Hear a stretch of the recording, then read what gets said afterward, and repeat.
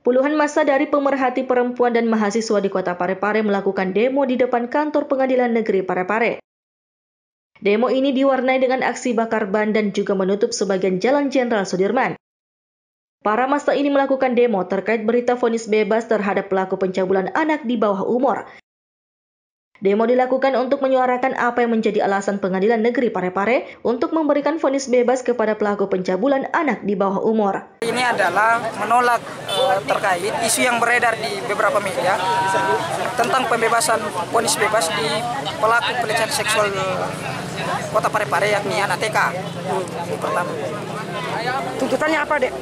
Tuntutannya adalah pertama meminta kepada seluruh hakim untuk menyampaikan atau memberikan penjelasan terkait kenapa bisa pelecehan seksual ini diponis bebas. Erwin, TV Peduli, mengabarkan.